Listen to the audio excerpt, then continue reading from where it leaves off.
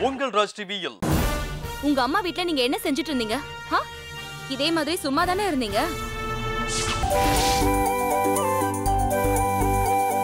கிரிஜா என்னம்மா விசேஷம்? இவங்க ரெண்டு பேரையும் மறு வீட்டுக்கு அழைக்கணும்னு அம்மா அனுப்பி வச்சாங்கம்மா. மறு வீட்டுக்கு கூப்பிடுறதுக்கு இந்த பொண்ணு அனுப்பக்கூடாதுன்னு அவங்க அம்மாக்கு தெரியாதா தாச்சி? ஏ நானும் புருஷன் இல்லாதவதான். நாளைக்கு அபர்ணாக்கு ஒரு நல்ல காரியம் நடந்தா அதுல என்னையும் ஒதுக்கி வச்சிருவியா பாக்கியம் இன்று இரவு எட்டு முப்பதுக்கு நீ வருவாய் என காண தவறாதீர்கள். உங்கள் ராஜ் டிவியில்